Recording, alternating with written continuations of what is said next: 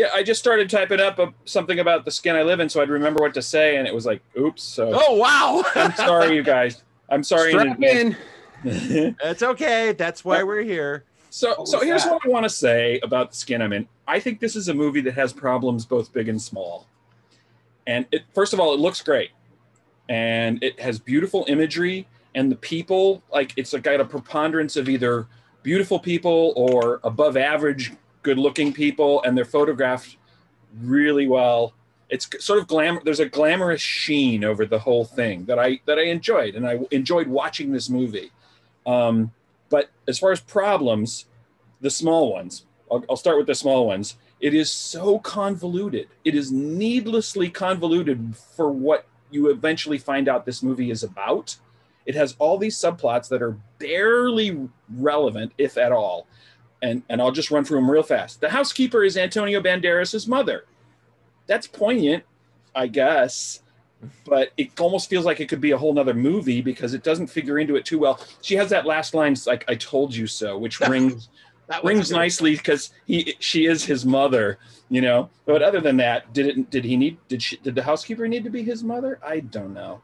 Um, it's a lot for this movie, which is about something else. Then there's Banderas' character's wife, who almost dies in a car, a fiery car crash, and then jumps out a window later when she sees how burned her face is in the mirror. Um, only tangentially relevant to our story. Then there's the bank robber. We talked about him before the recording started. Uh, what do we call him? Oh, oh, oh Puss, Puss in in Boots. Actually, that was Jim's contribution. yeah, thank you, Jim. Okay, the half brother shows up unannounced. He he's a bank robber or something on the lam, and he's in disguise. And he was at carnival, so he's dressed like a tiger. Mm-hmm. And he ties up his mom, and then he tries to rape Vera, the girl that Antonio Banderas is holding prisoner for some reason. Oh, well, he doesn't try. okay, he doesn't try, but He does. dude, I enjoyed that while it was happening because it was exciting and it was crazy and wacky and whatever. But it's like it lifts right out. It has no bearing on anything in this movie. It yeah, doesn't but his costume was so awesome, dude. Yeah, Just him yeah. showing up like that. and so I was kind of enjoying this thing on a sort of an L level where it was like, I think I hate this, but I think I love it because it's so wacky and all this shit's happening.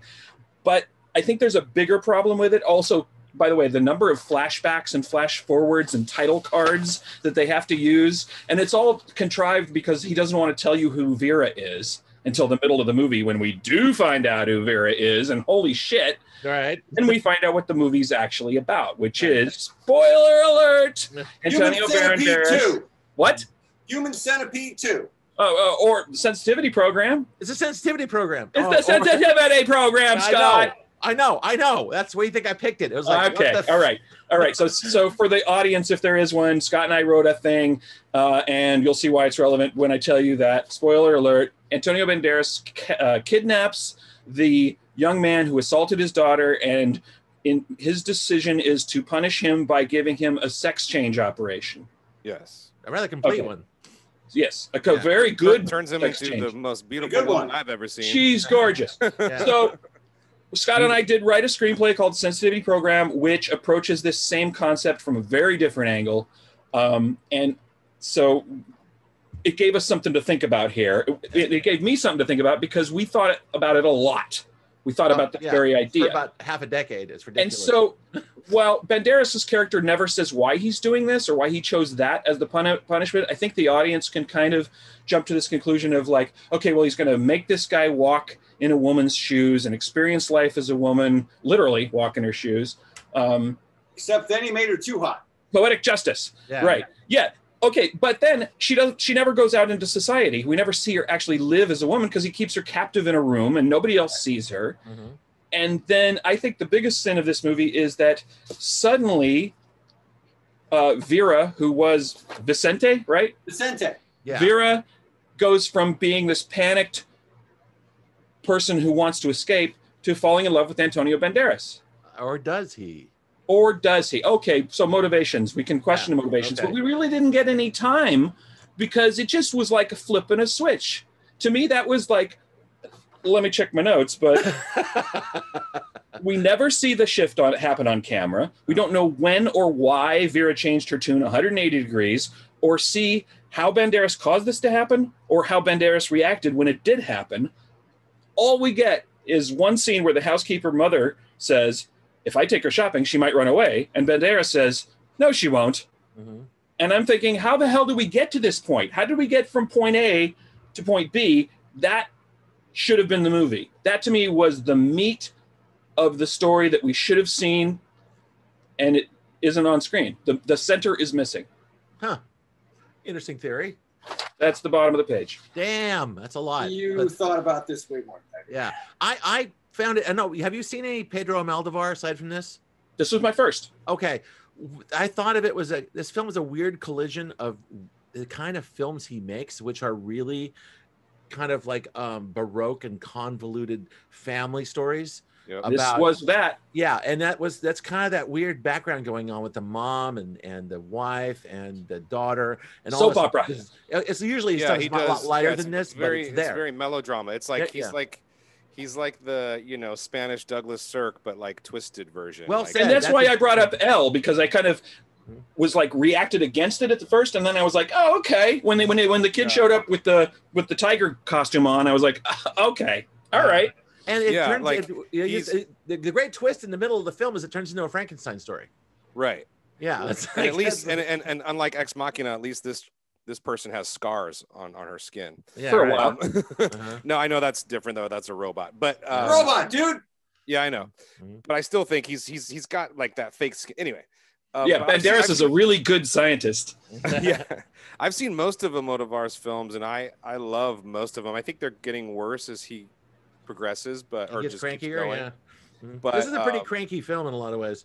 and this is a, a this is a weird one for him because he doesn't typically do yeah like scott said most of them are kind of more family relationship oriented hmm and This, this is his this this kind of went a little darker sci-fi. This is Yeah, like right. atyp- atypical film. for Yeah, it is. right but that's why i mentioned i think this would be a perfect double bill with eyes without a face because it's i think Oh, it's, it almost feels like a homage to that you know Absolutely, it is a homage. I think he says at one point during the interviews when they made the film is about That's on the I need to see it list. I haven't yeah, seen it. Eyes Without a Face was part of it. Oh, it's fantastic. It- yeah, it it's is. one of those movies that you you watch and then you you you re-look up the year because you're like, no way were they making movies like this at that time. This is too Yeah. good. Mhm. It's, Yeah, it's when I too wrote like, advanced in so when I- many ways. Yeah, when I wrote up Eyes Without a Face, I mentioned this as the logical conclusion of the ideas put forth in Eyes Without a Face. Okay. In Right. that it's about a it's about a scientist who kind of like wants things a certain way and doesn't have any morals, and uh, and you know and it, it, it- he's serving a purpose. I think a lot of his motivation uh, was his daughter. Um, is the kind of the the loss of her he blamed on Vincent Vicente, Mhm. and, and- Yes. and also he wanted his wife back who died in the fire that caused him so he had he had guilt he had a different kind of guilt for his daughter and anger and vengeance and it all kind of came together in making uh Vera. And lust. and lust well Yeah. yeah lust i don't know that was that's okay that was gonna happen but you know he apparently he apparently remade his wife right R- Yeah, Yes. I mean, essentially. Yeah so That's And- Yeah, they why. kept saying she looks like her. She looks like her. They never were explicit about it, but we. like, you know, his mom John's you really right shouldn't have made her look like that that's gonna cause you problems every every Almodovar film looks so visually gorgeous. Like he Mhm. has this Oh, way it- with color. Yeah, yeah. Um, it looked and, great. and this is actually his least sort of colorful film, and I mean that quite literally. yeah Mhm. Like, um, it isn't saturated like his other films are yeah yeah. his others his other films you know the, the the set design the Mm-hmm. cinematography the lighting and and all of that was good here as well of course it's but it's so lush in his other ones he really brings out he uses so much color primary colors just all sorts Mhm. of colors um and and yeah he it's just it's always a, a, a visual feast when you watch one Yeah. of his films It is sumptuous. And the thing is, one of the things I noticed was the costumes and the sets. Just that you want to live in that guy's house. It was so Yeah. gorgeous. You know, it was just so well done, and the artwork was very perfect, and the furniture was perfect, and the, the, the you know the very the, the dresses women wear in this thing are just like everything's perfect.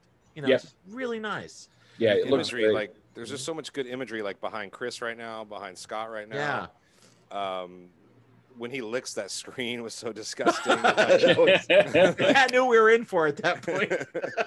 um, you know, and, and and just just God bless Almodovar for all the nudity and fucking and sex. no, he doesn't, he doesn't shy away from that. That's for sure. There's Uh, the He's clip. all- and also Right. Almodovar was Almodovar was you know a, like a famous famous for you know being in the art the, the the the Spanish art scene and the gay culture in the 80s and 90s. You know, he's a real you know he, he that was just his world. You know. Yeah. I think Chris was I the loaded up only for one bear that here. was like super slow on the uptake on the reveal? Like it took me a while to like, wait, what's happening? Yeah, you no, mean I- the reveal first that time- this, that she was he? Yeah, I, I because of the way he chose to kind of stagger the timelines. Oh, I- it's not. It's not clear to the middle. Like, no, well, I, I I don't know that I totally picked up on it. Until No, like the first time I saw this 25 movie. I didn't get it until she went back to the fucking shop at the end. oh Yeah, my I- god! I, was totally Wow. slow on that one. Wait a minute, but but before that, you get to see uh, Vicente wake up on the table and say, "What did you do to me?" And it's like, "I gave you a vaginoplasty." Yeah, oh, you're but- right. You're right. I You're right. didn't. I gue- two I and gue- two- I guess- I I still guess- didn't put two and two together. I just Oh, loved. I wow, loved that's the- I- effective, actually. Yeah. yeah, I think he's an effective filmmaker, and this is an effective film because maybe I did get that, but I, I saw this in the theater when it was still the Rialto over on Summerfield, and um, Oh, like I, I just remember when she goes back to the store at the end, it was maybe I did know, but that's when it hit me. You know what I mean? I think he just did a good job of like the way they looked at her. I don't know, it just hit me then. Yeah, I in a way, that's the was- most affecting moment for Vi- Vicente Vera's character Mm-hmm. in dealing Oh. with the transformation because she almost doesn't deal with it Right. on screen before that point. yeah. also his wish fulfillment too. He was like, he was teasing the girl he worked with, Christina, I think it was. It was, and she said, "I'm not going to go out with you unless you wear that dress there." So I, I'll, I'll wear that dress. Why don't you wear it? Exactly. Yeah, yeah, and yeah, so yeah. she and so she did, and uh, she came up full circle That- on that one. That was a masterstroke of set it up in Act One, pay it off in Act Yeah, Three. exactly. Yeah, exactly. You know what's funny? Tad's looking like I was looking in the last video for the first for me to comment about because I hated the two movies last week. Tad's been very quiet. Uh, I didn't like it. All right. Good night, everybody. like it wasn't. It's not bad. It's not a bad movie. Like it's just I didn't enjoy it. I um, I thought she was a robot for the first I don't know 25 minutes of the movie, and then I was like, uh, she's not a robot. Something else is going on here. And then as soon as uh, he kidnaps um, uh, as soon as he kidnaps Vicente, it was like, oh, that's what this is. And um, Yeah, I didn't get that the first time I saw it. and then the um the brother annoyed the ever loving shit out of me the entire time he was on screen i thought it was Which poorly acted I, I thought it was poorly acted i thought it was poorly written i didn't care um there's antonio Puss in Banderas, Boots, you mean? no um the yo yes whatever the the Yeah, the- Puss in Boots. El Tigre, The bank robber. I lt think his gray name was the like guy Z- who- the, Zika or Zek. Yeah, yeah, yeah. yeah. The guy who robbed the the um jewelry store yeah Right. Yeah. I, A the- both jewelry store. he just comes out of nowhere into the movie for no particular reason and completely hams up the acting and then gets shot and who For some reason, I thought you would like that. I don't know why. Because Yeah. he, when he walks up in a cat in a, in a cat costume, I was like, "This is hilarious." Yeah. What did I say? if it, was you know out. what if it, was lifts out. funny if it was funny i would have liked it but it's not funny Oh, I loved it. I loved it. I had a thought it was. I thought it was there. really funny. I thought Yeah. it, it was. It was like this dark funny. Like he was just disgusting, and he's like, Mm. he's like, "Let me in. I want some food." And then he's fucking eating, and he's like, "Oh god damn it, that's my robbery." And I don't know. It was. I liked it. Antonio Banderas, Banderas at his most inert. He was. He Yeah? was. Yeah. He didn't have. He didn't display a lot of emotions in Uh, this. film. yeah i think I, I think he did a very good job of being quietly menacing though for Oh, yeah. most of it like you the when she, when she cuts her throat and he just walks over and picks her up and carries her to the operating theater I'm a It's plastic like- surgeon. I'm going to have to do something about this. right it's like i'm not I, letting I you, know I'm, you're not, gonna fix this. I'm not letting you die because i put too much work into this right. Uh, that you know his, his whole house and workshop were so sweet. Like the Yeah. whole setup, it was just so eerie and freaky and cool. Also, they did. They made a big deal out of the fact that that Vera's skin was like burn proof.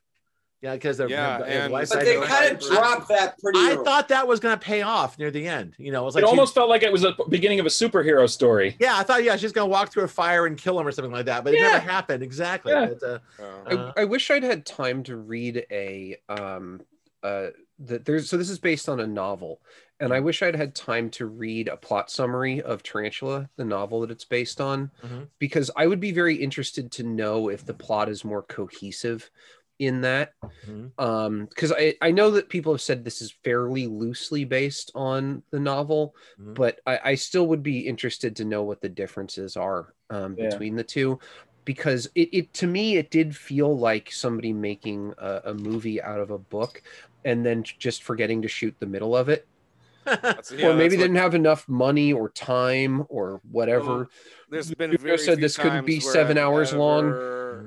There's been very few times where the you know the film is is as good or better than the novel. I mean, let's just be well i'm not saying as good or better i'm just saying a more coherent story If I was Like, to I get- think if, if some of those sub extraneous subplots like Tiger Boy, if that stuff had been taken out, that two hour running time could have spent more time on the main story, and we could have Yeah. seen, like I said, that transition of how she got there, and we could have been questioning, well, is she sincere? If she's changing her tune and starting to like Antonio Banderas' character, you know, That we could have been never, different- we never I- got that You're right. opportunity. That could have been a different story if they did it linear. Like it actually started, everything was in order. It happened, Yeah. and it would turn into a weird Yeah. love story at the end. That would have Yeah. very a different film. Although I think that going back to what Tad said, this is probably a novel that was a lot different, and it, and Pedro Almodovar Almodovar it. Uh, Yeah. and uh, so he put a lot of like the melodramatic melodramatic elements and a lot of family plots and a lot of like weird deaths and things like that in there to kind of it kind of it's almost like sleight of hand he's like putting that in there to kind of throw you off a little bit Yeah. but it's all you know it's kind of i think he i think I that think it is to obscure to obscure what the reveal is going to be to make you think about other things. yeah yeah So I want to, I want to, I do want to bring up one thing uh, that John said that I disagree with, which is that um, I do think it matters that uh, the housekeeper is the mother. Okay. Um, she wouldn't go along with this if she wasn't. Yeah. She's Oh, already given up. She's already given up on the other son. Right. This is the son that she raised. Uh, This is the son that she loves. She will do anything to try to keep him alive. Yeah. And, yeah. And she knows I think that's a good point. she Yeah. knows And also that, that- Vera is keeping him alive. Well, and by Wow, that- I didn't and by, catch and that. by and maybe you don't need the tiger guy, but I mean, but but by that rationale, like showing the contrast between the two brothers and making her more on Antonio's side, uh, you know, you then that's a reason for having the Tiger Boy yeah, because like I don't necessarily think get rid of the Tiger Boy part. I just didn't like the acting in it. Like Yeah. I didn't, See, I and didn't, I- I, don't- I I- didn't like how he did it. I disagree there because there was like an animal like quality to that person. Not enough. character. mhm. It was too. It was. It, it wasn't enough one way or the other. I, I give I give Almodovar and, and these actors a lot of credit because there were there were a couple of scenes where I thought when they dealt with the intimacy that as a as an actor and a director I was really really taken with like like the first time that she's in the room with Antonio and and he's trying to leave and she's like I'll be with you and they're like not quite kissing but they almost are and his Mhm. mouth is on her nose and then later and then later uh the the tiger guy is basically like eating her jaw you know like oh kinda yeah like- it was really animal Biting her teeth. Yeah. yeah, Yeah. like they're Yeah. like those moments like that i think are brilliant direction brilliant acting like fearlessness uh, amongst this whole cast and crew and and they just they stand out to me as, as sort of like like really really juicy tidbits weirdly carnal. Oh, I Yeah. think. I I think everyone else in the movie did a great job except for the brother. That's the the. I, there was something I, d- about I think he made a choice and went with it i kind of dug it i don't know yeah why. there was something guys- about his there was something about his performance and his character that it's just one of those things that i talk about on a fairly regular basis it took me out of the movie i started thinking i Mhm. started thinking about what he was doing as an actor and as soon as i start thinking about what somebody's doing as an actor rather than their performance You're not in the movie. i'm not in the movie Right. yeah. Right. which is a trick because it was in spanish uh, i don't see uh, that doesn't bother me I hardly remember when I watch a subtitled movie later. I remember it in English in my head. It's like I I also don't- yeah. understand a fair amount of Spanish. So like this is a movie that I was even able to look away from and do stuff and not Oh, really good. lose much of That's the plot because Uh-huh. I can I can understand a decent amount. My my spanish is so bad my and my wife and my mom are you know fluent that i'm not allowed to speak it at home no i do Well, I'm then so you're gonna terrible. They're like, they're, sure. they're like they're like stop stop I can ask I can ask I can ask for drugs, I can ask where a bathroom is, and I can order on a menu. And that's Order about all beer. I can do. yes, yes. Oh, and I can tell somebody to go fuck themselves in Yeah. several different ways. When I when I took my road trip down through Baja, the one thing I remember that I had to learn really fast was "I hielo."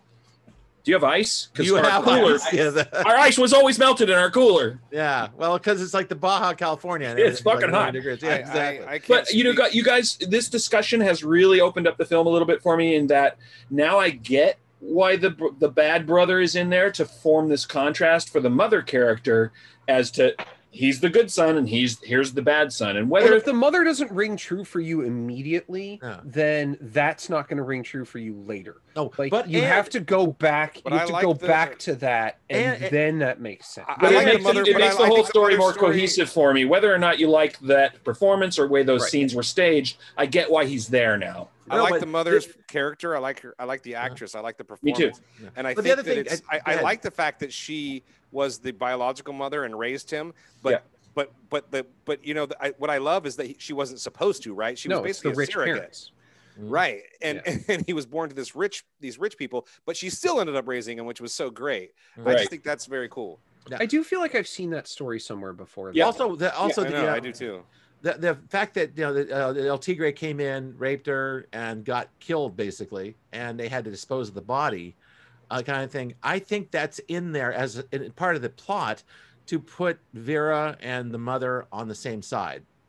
Mm. Hmm. maybe. A murder happened, Except, but she, but the mother's never on her side. no, but I, I think that's why it's there though. I think it's It 'cause- may put it may put her in Banderas. and maybe this is Act One uh, same side thing because you don't know what Vera is in the first act. It may and- be it, yeah. it may it may be Banderas and and um, Vera being on the same side because he saved her.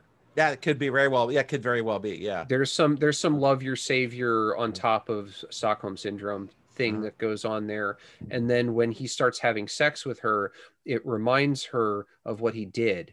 Mhm. And then she says, Oh, I can't because of the rape. I need lube. And then goes downstairs. Maybe still is even considering continuing to have sex with him Mhm. and then finds Lube the gun And gun, lube and then and goes gun. back Pretty much. upstairs. And, I never I'm doubted still, for a second. I'm still clueless as to what's going on at this point. And I almost, when I finished this movie and realized what I had just seen, I'm like, I think I gotta go watch this again because, wow. like, So I just obviously want- there were clues Mhm. at the Oh, yeah. beginning that I just like went right over my fucking head. No, you're you're absolutely right because I saw it, like I said, when it came out, and then I just watched it again today, and I was like, oh, Was there it it is. more- Oh, there it okay, is. yeah. There it is. Were there Yeah, were the clues there the second time you saw it? yes, hundred percent. No, Yes, wow. So it's kind of a Tarantino Pulp Fiction thing where you Yeah, everything's it's- kind of laid in the first segment. I'm, Yeah, I'm, you- la- there- it's I'm all so late there. to the party on this thing. There's Mm-hmm. a fucking there's a when when when Antonio and and and Vera are in bed, and he has his like memory, and then the camera pans over to her. There's literally like Vicente flashback, and he they look at each other. Yeah. Like, yeah. they they fucking. oh, in the in and the, so it's, in the it's, so it's. Vera and Vicente looking at each other, and it, and you don't obviously you don't know this, but they're the same person. Yeah. Right. as soon No. as And that's And great like, sleight of hand because you're gonna think, oh, they're different people for the next half getting hour. it. Yeah, exactly. I, I'm totally not getting it. Mhm. I, I think no, no, I know you would not get like Scott said, you would not get that. But then when you watch it the second time, you go, "Holy shit!" I think more of the, I think more of the clues It's clicked like for Fight me. Club the second time. I think more of the clues clicked for me because I wasn't really enjoying myself. So I was trying to find things to grab onto in the movie. So I started going, okay, what's going on? What's going on? What's going on? What's going on? You're that's all. That's that's all I was Oh, I- focusing on while I was, enjoying watching. the hell out Yeah, because I because. I wasn't. I was just I was the the movie was floating around just out the, here. but just the and I was imagery going- alone, the imagery and the tone alone, it's well was, like, shot. enough for me to like it. It's well shot. The music is very good too. Well, movies are always well shot. The Well, music okay. the music is very good. So th- I'll get thumbs.